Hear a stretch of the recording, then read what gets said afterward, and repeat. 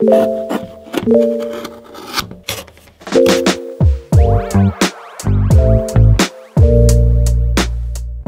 just released their tactical boot, but is it just a Nicks boot with the facelift or is it actually made to be lighter, more agile, more water resistant and meet uniform requirements?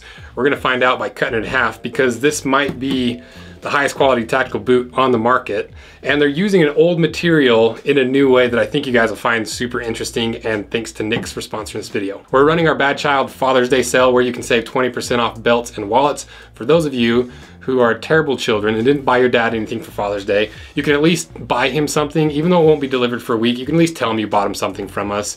And to get that 20% off, just use the code least favorite child. And in full disclosure, Nick sent me and my brother a pair of their Waterworks boots that are built the same way for testing and feedback. So just to let you know, full disclosure, we helped just a tiny bit with this boot.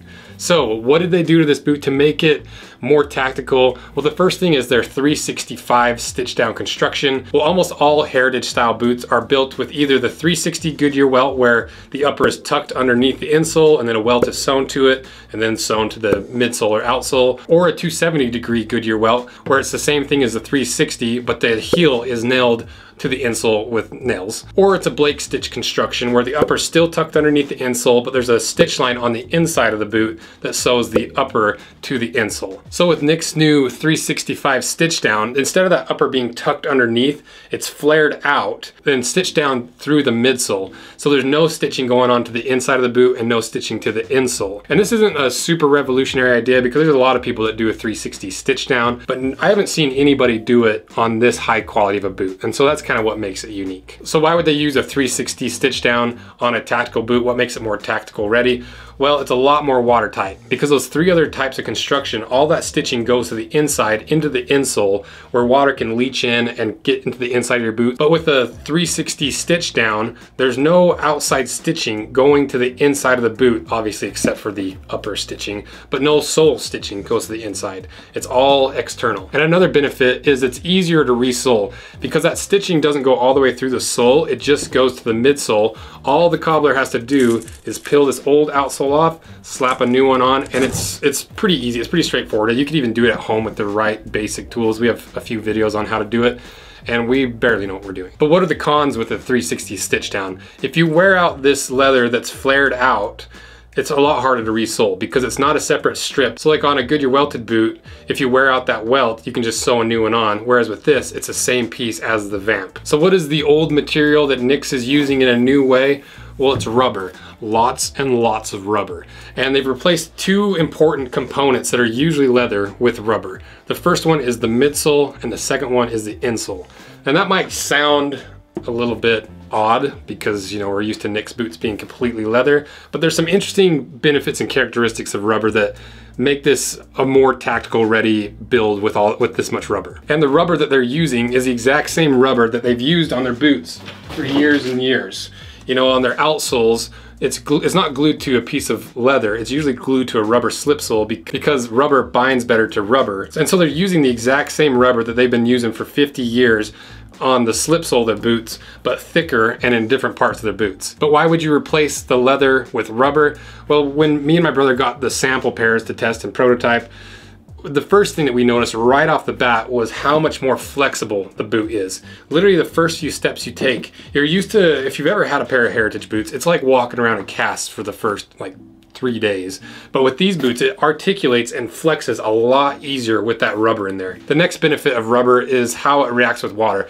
Because the problem with leather is it absorbs water pretty easily. And one of the big problems with leather absorbing so much water and shrinking and compressing and pulling all those oils and, and tanning compounds out is eventually it cracks. You know, not nearly as fast as fiberboard and foam does. It's still a significantly better material than those materials, but it does crack. Like this is an insole from a pair of Nicks boots that they sent me. So since the rubber doesn't absorb nearly as much water and it and rubber just is naturally more flexible and has a lot more flexes in it before it starts cracking, it makes a better insole material for more wet environments. And that's a reason why they've also launched the same style of construction in a couple of their other boots with their Waterworks boot. This is the one that I was testing for them because you know, there's a lot of people that have jobs where they've got to be in water all day, every day. Maybe not fully drenched in water, but their boots are going to get wet every single day. and rubber's a lot better material for that. And they also released their hiker boot with the same construction. So it's definitely a build that Nicks is doubling down on based on the evidence that they've seen from all the years and years of boots being torn apart, rebuilt in their factory, and seeing how much leather can crack and how crack resistant these rubber slip soles are. So why aren't all boots made out of rubber like this? Well, there are some negatives to it because rubber doesn't compress nearly as much as leather, and that's one of the big benefits of the leather insoles is you get that perfect footprint that contours to your feet, making your boots more comfortable. So knowing those issues with rubber, Nicks decided to make these boots accept a leather insole.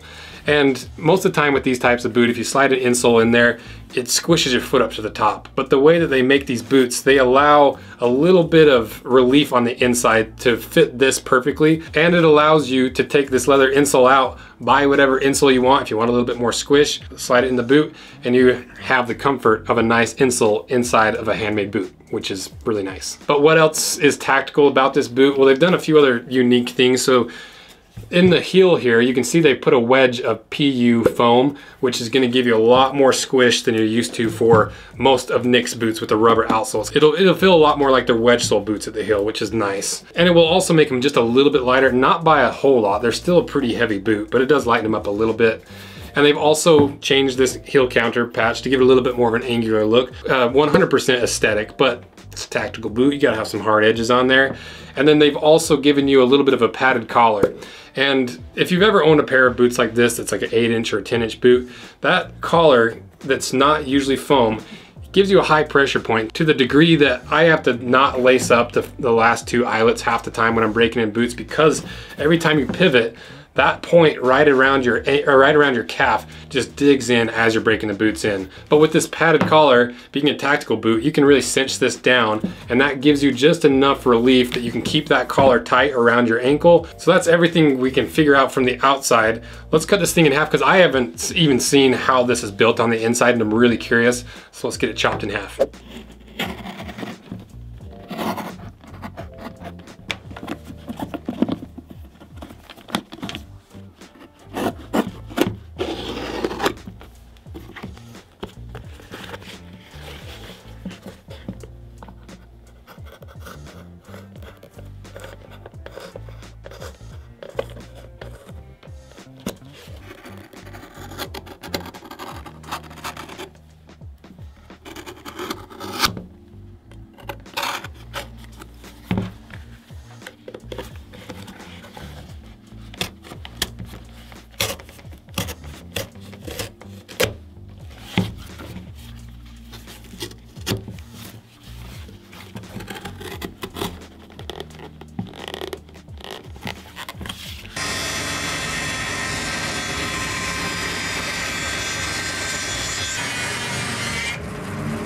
All right, I've got it cut in half and I didn't feel any steel in there, which is another good sign for a more water resistant boot.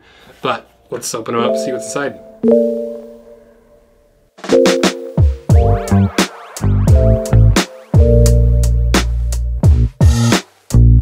So there is some leather in this boot.